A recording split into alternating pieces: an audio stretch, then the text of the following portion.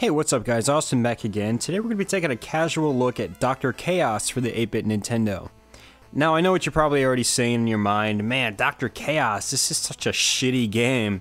And you know what? You're right. Uh, because it is. It's not a fantastic game by any stretch of the word, but it is one of those games that can be mildly entertaining or even enjoyable if you know how to play the game. And I'll get into all that in just a little bit.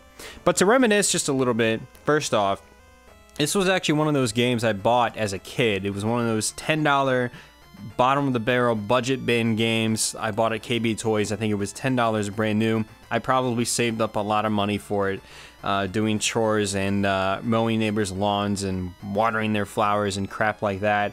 Lemonade stands, whatever. Uh, whatever I could do to make a buck back then. Um, this was like early 90s. Uh, you know, I was probably 10 years old. I was doing whatever I could to buy Nintendo games between uh, Christmas and my birthday periods. Those are the only times I got Nintendo games from my parents.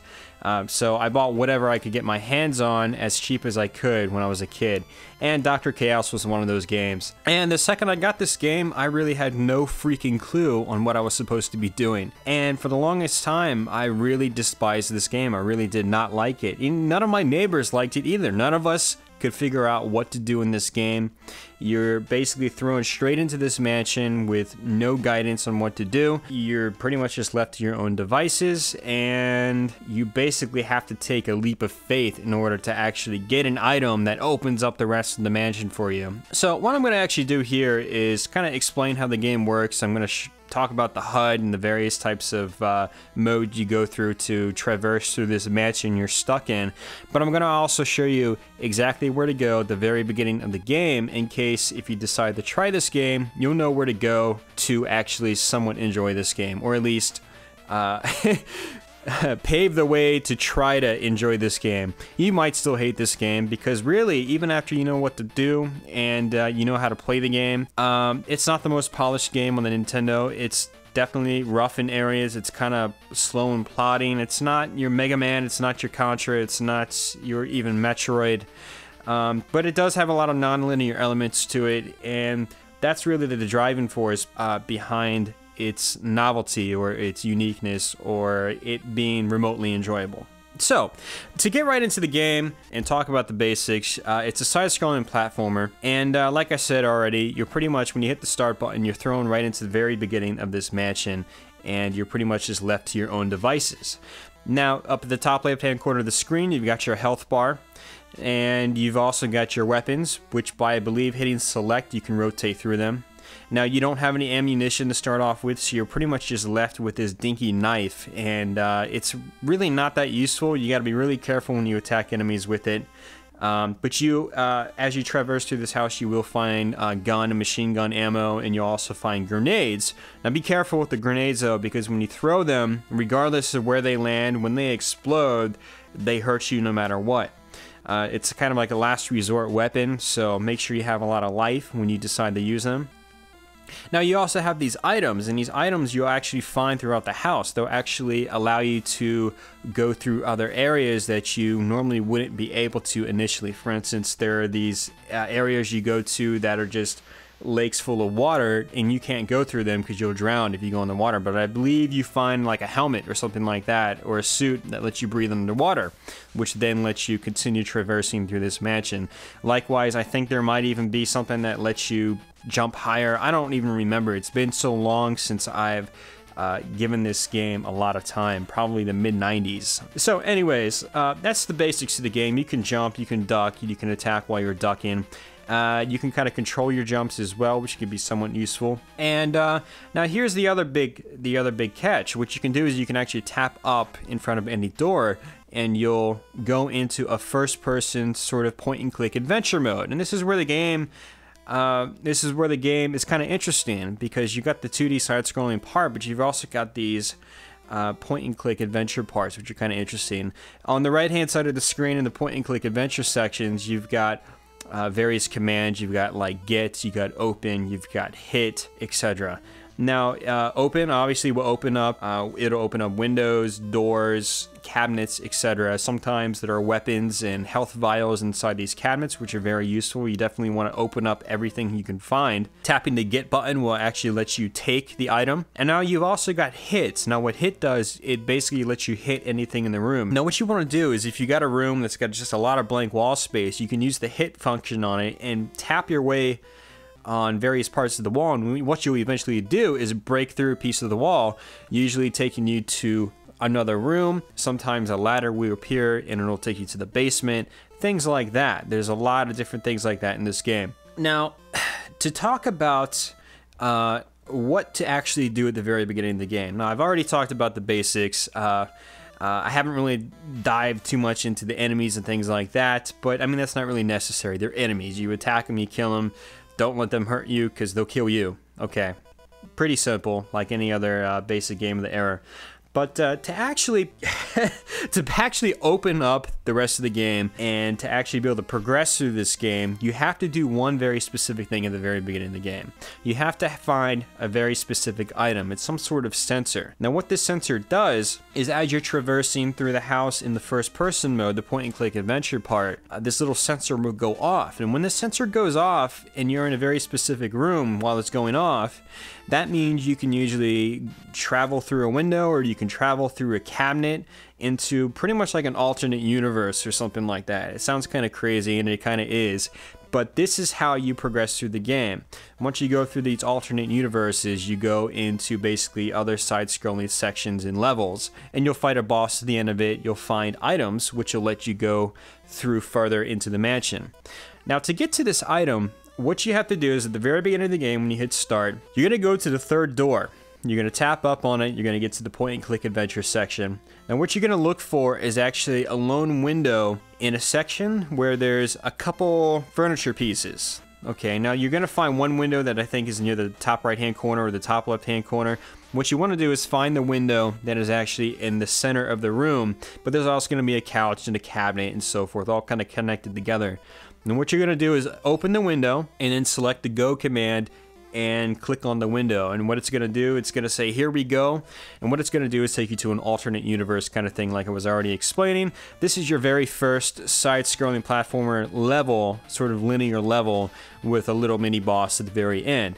And your first item, which is this sensor. So that's how you start the game, and I'll show you the little boss and grabbing the sensor and things like that. And once you get that though, as you progress through other uh, adventure parts in the mansion, you know, the point and click adventure segments, the little sensor will go off. It'll start blinking rapidly. And in those cases, you'll find other levels of the mansion you can go to.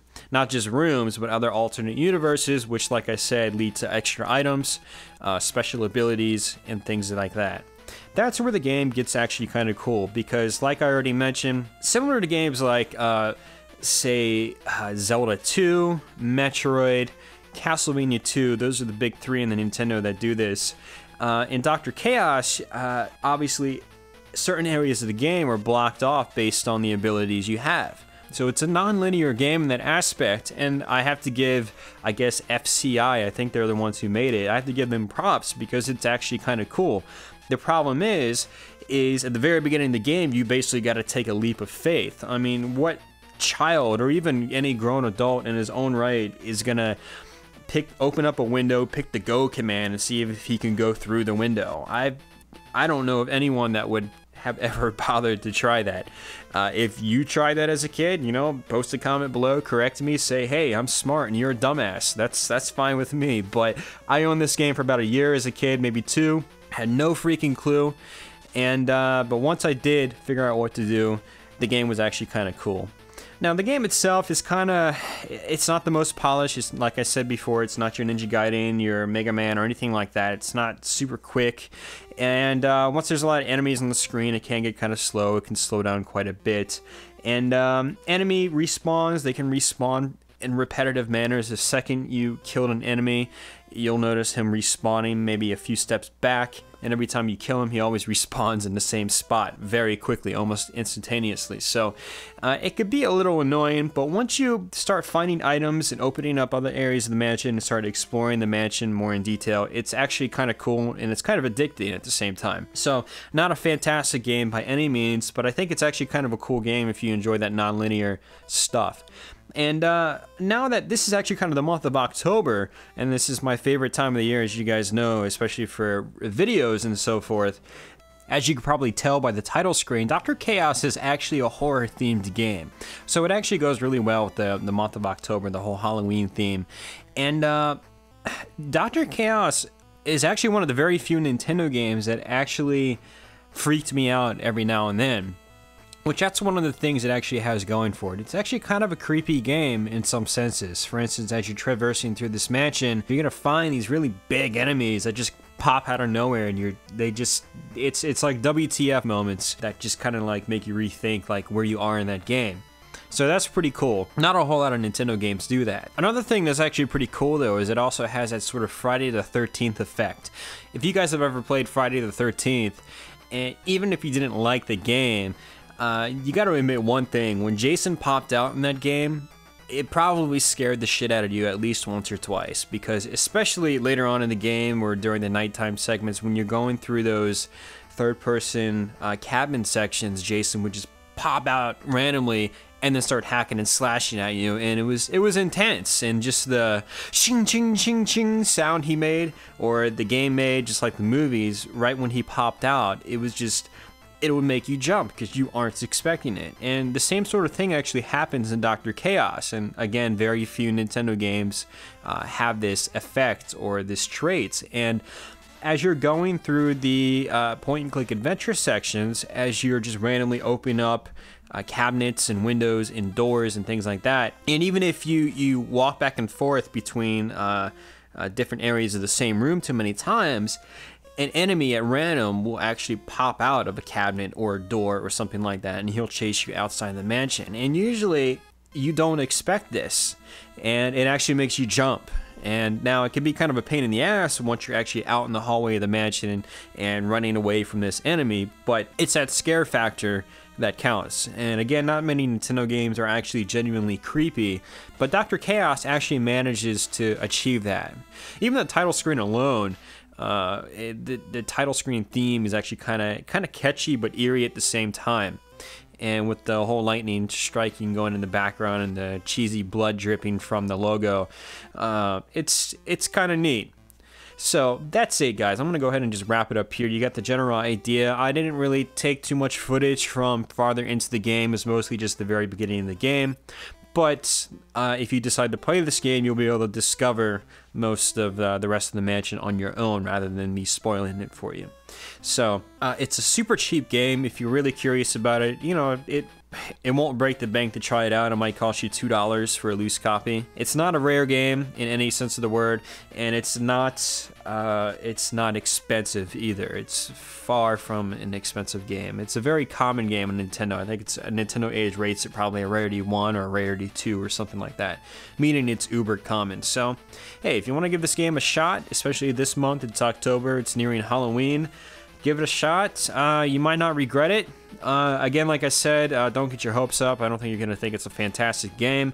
It can be enjoyable too once you know how to play it. So, with that, guys, again, I'm Austin. I'm out. Thanks for watching. I'll be back with another video sometime soon. And uh, take it easy, guys.